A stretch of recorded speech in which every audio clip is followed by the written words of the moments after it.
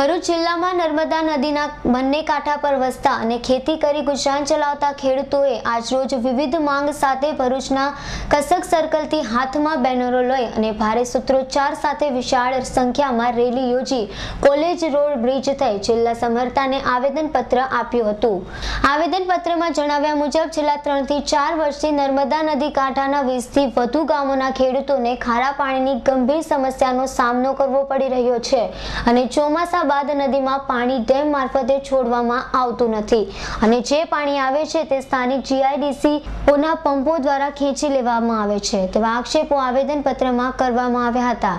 નર્મદાના કાંઠા વિસ્તારમાં વસતા ખેડૂતોએ છેલ્લા સમર્થાને આવેદનપત્ર આપી માંગ કરી હતી કે નર્મદા નદીમાં ખારા પાણીથી ખેતીને નુકસાન તેમજ જમીન ધોવાણ અટકાવવા તંત્ર વહેલી તકે પગલાં લે તે જરૂરી છે. હાલમાં અમે નર્મદાના બંને કાંઠે વિસ્તારમાં વસતા બસો ગામના ખેડૂત ગણો અહીંયા ઉપસ્થિત થયા છે. ખાસ કરીને અમારો મુદ્દો છે કે આપ સર્વે જાણો છો કે છેલ્લા ઘણા વર્ષોથી નર્મદામાં દરિયાનું ખારું પાણી આવે છે અને હાલમાં જનોરથી લઈને નારેશ્વર સુધી ખારું પાણી પહોંચી રહ્યું છે. આ ખારા પાણીને કારણે અમારી ખેતી નષ્ટ થઈ રહી છે અને ભૂગર્ભ પાણી પણ ખરાબ થઈ રહ્યા છે.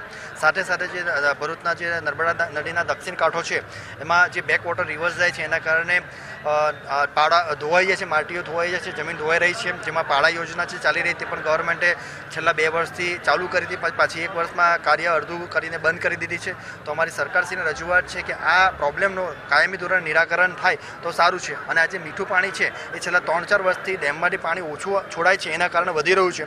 આના કાયમી નિકાલ માટે જો જે ગવર્મેન્ટે નક્કી કર્યું છે, ચેકડેમ યોજના એ આગળ વધે અથવા તો નર્મદામાંથી કોન્સ્ટન્ટ ડેમમાંથી મીઠું પાણી છોડાય.